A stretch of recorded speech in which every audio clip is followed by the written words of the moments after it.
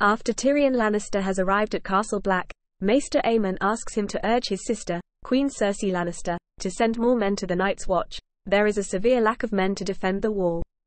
They discuss the coming winter, and Aemon assures Tyrion that the next winter will be long and terrible. Lord Commander Mormont is worried about rumors of White Walkers abroad north of the wall. He sends Benjen Stark ranging beyond the wall to investigate. When Jon Snow and the other new recruits are done with their first training, Maester Aemon gives the new stewards their assignments.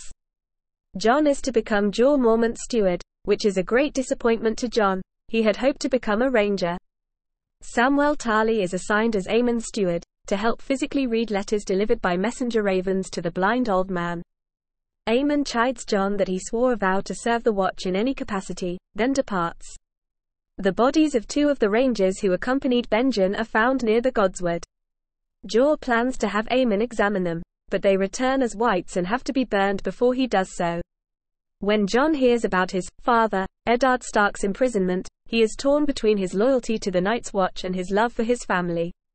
Maester Aemon intercepts Jon as he is preparing to desert the Watch.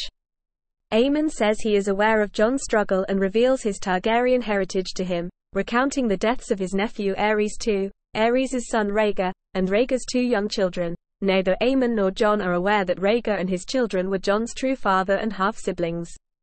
He sat and waited on the wall in utter rage while he heard about his family being butchered during Robert's rebellion and the two survivors, Viserys and Daenerys, fleeing into exile, and did nothing because having joined the Watch, his duty was with his brothers there and no longer with his house.